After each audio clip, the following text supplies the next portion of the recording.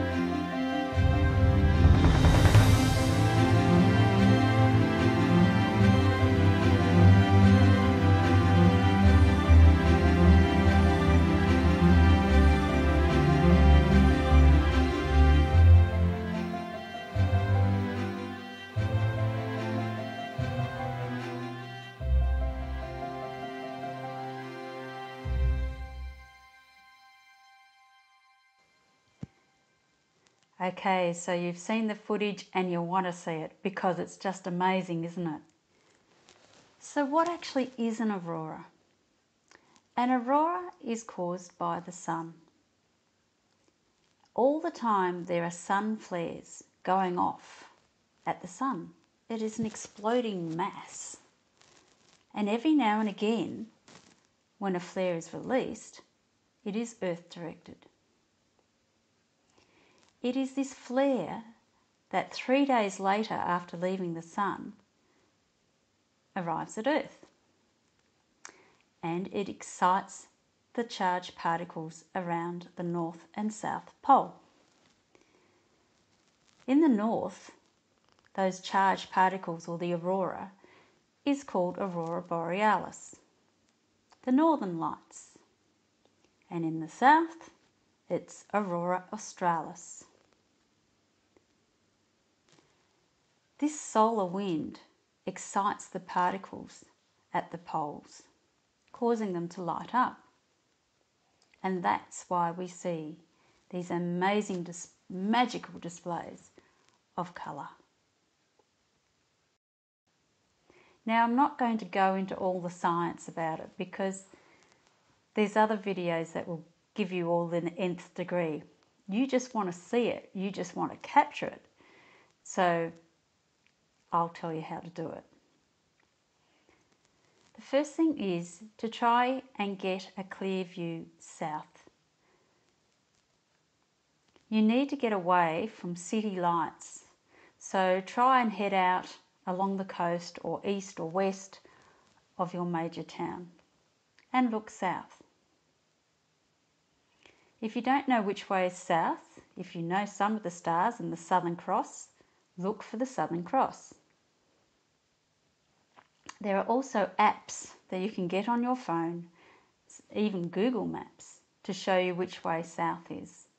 So use that so you've got a fair indication you're looking the right direction. So, what does it look like in reality? You're there looking to the south and you go, Well, I'm not seeing all these amazing colours in the sky. The thing is, you can't. What you will see is a muted colour version of what you see in the camera. You've got to remember that the camera is open for a long period of time to be able to capture all those amazing colours that are happening in the sky.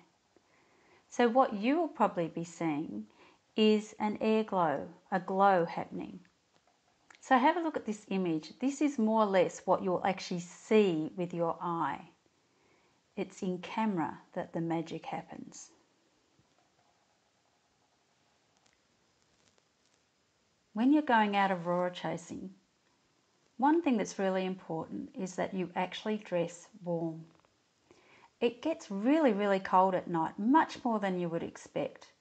And there's nothing worse than being outside waiting for an aurora to happen and you're starting to freeze. So I always make sure I have merino thermals, my jumper, my jacket, my woolly hat, my scarf, my gloves, and if I need them, they are there to put on. Also, woolen socks, much better. And try not to have cotton against your skin, it tends to make it a little bit cooler. Wool is actually best. So, although that might sound a little bit silly, it's not a fashion show. You want to be warm, you want to be comfortable, so you can enjoy the experience.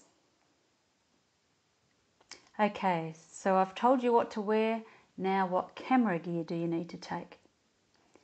You need to take a tripod, your camera, and preferably a lens that is more wider, such as 24, something like that. This is to ensure that you can capture as much of the aurora as possible. Check out my YouTube video on how to take shots at night. So it will tell you what equipment you need, how to get the shot, and how to focus. It's especially important you know how to focus at night and try and practice during the daytime because when you get out there at night and you can't see and can't figure out where your settings are on the camera, that's where it all becomes not as much fun. So make sure you're familiar with your camera, you have your settings already set up in your camera, and you're ready to go. Now, just a little word on photographer's etiquette. Quite often, when there's an Aurora event happening, there's a lot of photographers wanting to capture the event. So, one of the things that I really strongly put in my classes is that everyone wants to get the shot. So just be aware of the other photographers and where they're situated. So don't go walking to the front so that you're in their shot. Try and stay in a line if you can.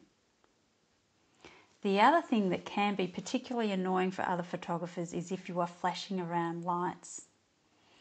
Now, there was something going around on Facebook saying, oh, the red light's okay, you can't see that. Well, I'm here to tell you, yes, you can. And that red light will be affecting the other photographer's shots. So please just be considerate of other photographers who are also trying to capture that magic moment. So, how do you know when aurora is going to happen? First of all, I suggest you sign up to some of the Facebook pages there's usually a bit of chatter on the pages if something is looking imminent. But then what I do is I go to www.aurora-service.net slash aurora-forecast. I'll put that link in the comments below. This is the page where you really know if something is going to happen or not. Now the first thing that I look at are the gauges. And the gauges are a BZ gauge, a speed gauge, and a density gauge. there is colour coding on these gauges. The more red on the dial means the more possibility of a bigger aurora. So have a look to see where that dial is. For the BZ, it has to be negative to be able to see an aurora. So you'll see on that dial, it needs to be in the orange or red. For the speed dial, the more speed, the better. You'll see it starts off at 200 in the green and goes round 400 in the yellow, 500 for orange, and 700 for red. So the more the gauge is going round towards the red, the better. The next thing is the density. Obviously, the better the density, the better you're going to be able to see the aurora. So, when it's in the green, you may see it, but it won't be very strong.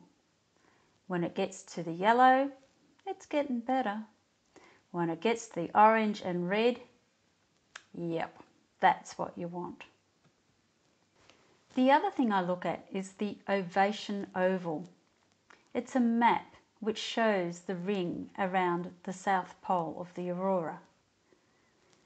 I would suggest you look at this fairly often just to see the difference. When there's a thin green line, not much is going to be happening. When it gets thicker, it's looking a bit more like it's got a bit of potential. If there's yellow or orange, or better still, red appearing in that ovation oval, it looks like you're going to get a good show. The other thing that I like to look at is called the GOES graph, G O E S graph. Generally, when the GOES graph starts to dive, it starts to get a bit more interesting. If it goes down below 50, there's definitely a possibility of an aurora. I use this graph to help predict when to go out because I can actually see the aurora from my front gate. When it has dived below 50 and starts to ping back up again, I know that within 20 minutes to half an hour there will be more chance of seeing an aurora. But really, you only really know an aurora is there when you see it or someone else sees it. And that's where the Facebook alert pages are great because as soon as somebody sees an aurora, they post it up on the alert pages and you get out there as fast as you can. So, how long does an aurora last? Sometimes it can only last minutes. Sometimes it will go on for hours. But you really don't know until you get there and you see it. So don't dally if something's happening because it might not last long. So, what about the moon? Is that going to affect the aurora? Well, yes, it does, but it's also going to depend on how strong the aurora is and how strong the moon is. I have captured an aurora at full moon but the aurora was very strong. So, just because it's a full moon, if there's a potential for a big aurora, still go out. There's still an opportunity to catch something special. A couple of other apps that are useful to you is going to know whether it's going to be cloudy or not. If it's cloudy, you've got much less chance of seeing the aurora. So the two apps I usually use are Clear Outside and also yr.no, which is a Norwegian website, but I find it to be quite accurate. I'll pop the links down below so you can click on them and have a look to see what your weather is going to be like in your area.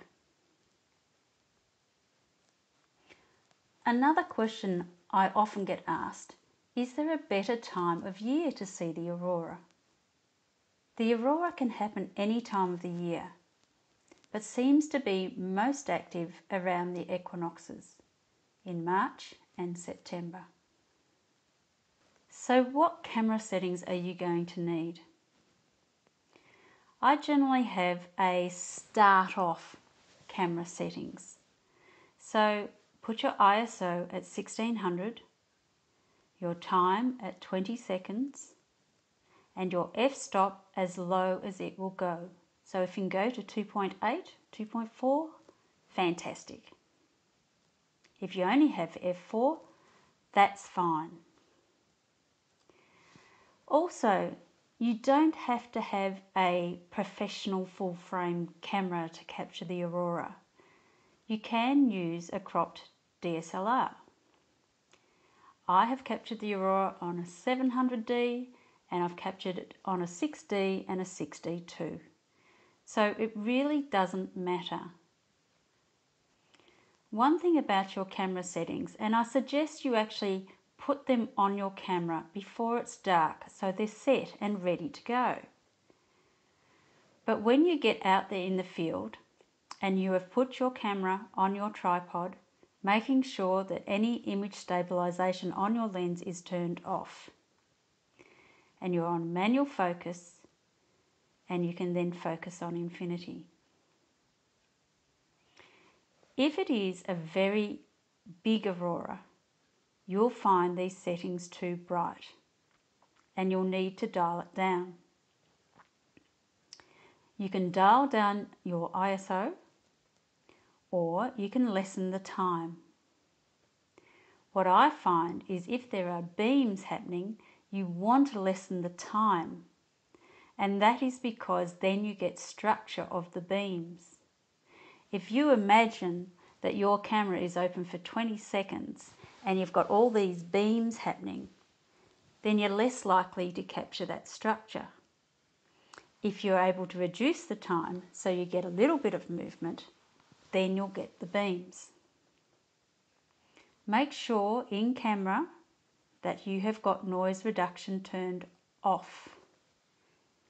If noise reduction is on, then what you'll find is the camera will take the time to take the shot and then it will take the same time to do the noise reduction in camera.